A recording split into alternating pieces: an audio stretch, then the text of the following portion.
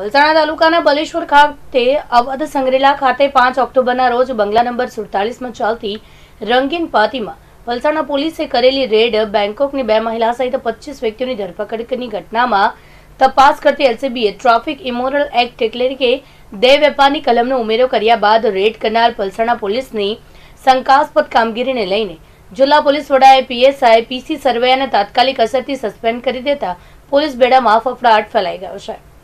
સુરત જિલ્લાના પલસાણા તાલુકાના બલેશ્વર ગામની સીમમાં નેશનલ હાઈવે નંબર અડતાલીસની બાજુમાં આવેલ અવધ સંગ્રીલાના બંગલા નંબર સુડતાલીસમાં વિદેશી મહિલાઓ સાથે ચાલતી શરાબ અને શબાબની મહેફિલ પર રેડ કરી બેંકોકની યુવતી અને અન્ય ચાર યુવતી મળી કુલ છ મહિલા અને ઓગણીસ પુરુષોને બલસાણા પોલીસે ઝડપી પાડી, માત્ર મહેફિલનો ગુનો નોંધી સંતોષ માન્યો હતો. શરૂઆતી શંકાના દાયરામાં આવેલી આ રેડમાં પલસાણા પોલીસની ભૂમિકા શંકાસ્પદ હતી. આ રેડમાં પલસાણા પોલીસે સુરતની એક એજન્સીના બે પોલીસ કર્મચારી, એક ત્રાહિક વ્યક્તિને પાછલા બાણેથી રવાના કર્યા હતા. ચર્ચાસ્પદ બનેલી આ હાઈ પ્રોફાઇલ પાર્ટીમાં માત્ર મહેફિલનો ગુનો નોંધાયો હતો.